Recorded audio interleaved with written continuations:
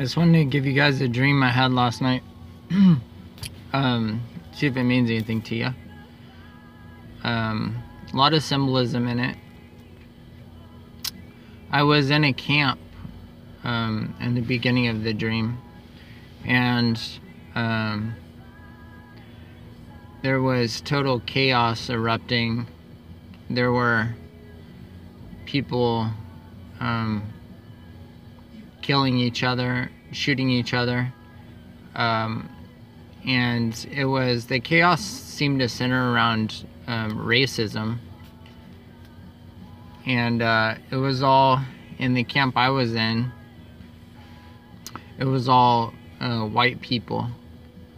And this isn't something I think about at all. My my wife is African American, so uh, race doesn't even, for the most part, come into my mind. And I live in California where um, white people are a minority, so it's really not talked about.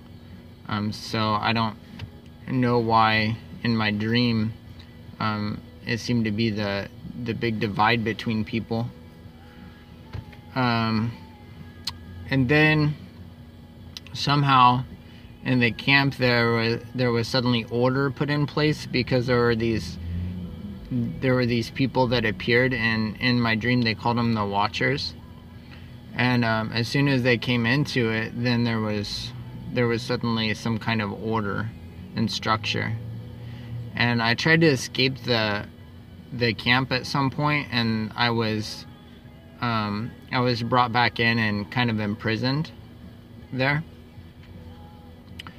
And i heard in my spirit that the camp um, was the world.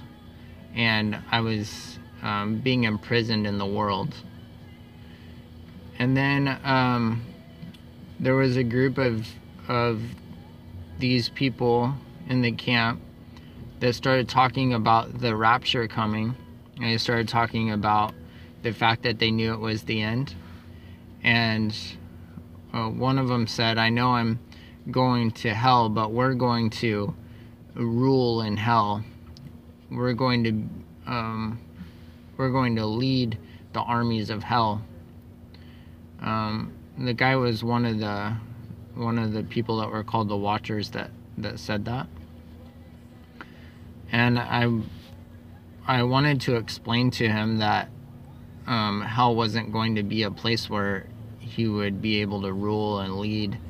Um, that it was a place of pure punishment because he didn't seem to grasp what it really meant. But um, before I could tell him that, um, the scene changed and I was late for my own wedding. Um, it was my wife that I was marrying. Obviously, we're already married, been married for 11 years, but um, but we are getting married again. So I think it was just she was symbolic of our marriage to Jesus. But I was late for it, and she was late for it. So we were running through the halls to this auditorium where we were going to get married and and we opened the door and then we're walking down the aisle and then the dream's over at that point so the way i interpreted it, um, it i mean it seems pretty self-explanatory to to me other than the wedding part but um, the world you know turns to chaos. There's a lot of division and separation. Um, and i and probably they're going to use race to create some of that. You can already see the beginnings of it um, with things like black lives matters which is funded by the by the clintons. Um, but i think they're they're going to divide uh, wherever they can divide whatever ways they can um, divide people they will. And so that'll probably be one of them and then um, the the watchers could have been whatever the antichrist or satan is gonna like he'll i'm sure he'll have his own armies that'll be put in place to bring some kind of order or structure to the chaos. And so i think that's what that represented. And i think those people if don't really understand um, they don't they've accepted hell to some degree. They don't really understand what that means. They've been promised something very different maybe. I don't know. They're under some kind of delusion, I think. And then rushing to the wedding, I think, you know, the the the watchers were talking about the rapture and then it changes to the scene of the wedding.